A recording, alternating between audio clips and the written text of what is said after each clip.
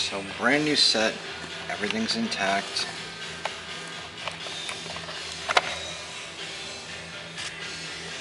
I really don't want to mark it any special particular way because it's a brand new set.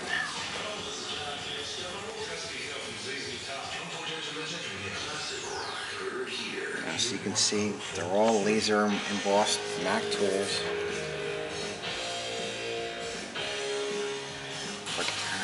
So since I can't mark it because it's a brand new kit, what we decided to do is this is sealed.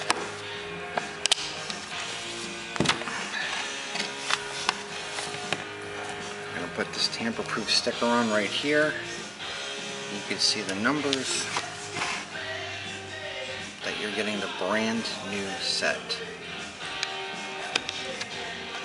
So this is our only way of marking it, so if you want to give it to somebody as a gift or what have you, peel the sticker off and that's it.